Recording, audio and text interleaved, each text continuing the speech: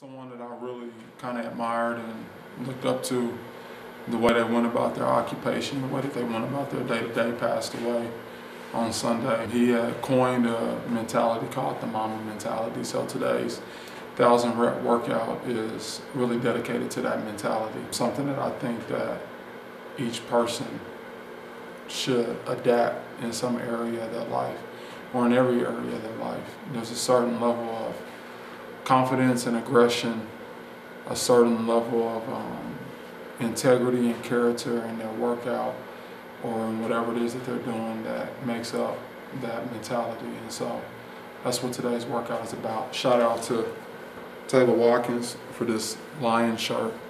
She says that only a lion can be trained by a lion. We're gonna have a lot of fun. Stay tuned. Thanks again. Yeah. And I heard him say, nothing's ever promised tomorrow today. From the shot, like Tim, it's a harder way. So this is in the name of love, like Robert say. Before you ask me to go get a job today, can I at least get a raise on the minimum wage?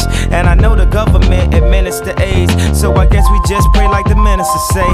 Alu Throwing some hot cars. The things we seen on the screen, it's not ours. But these from the hood, so these dreams not far. Where I'm from, the dope boys is the rock stars, but they can't cop cars without seeing cop cars. I guess they want us all behind bars.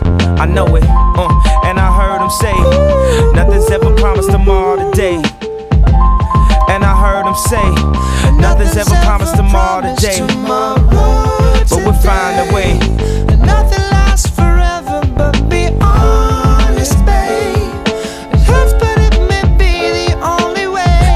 People in your life for seasons, and anything that happen is for a reason. And gun clapping and keep the squeezing, and grand keep praying and keep believing in Jesus. And one day that you see him, till then walk in his footsteps and try to be him. The devil is alive, I feel him breathing. Claiming money is the key, so keep on dreaming. And put them lottery tickets just to tease us.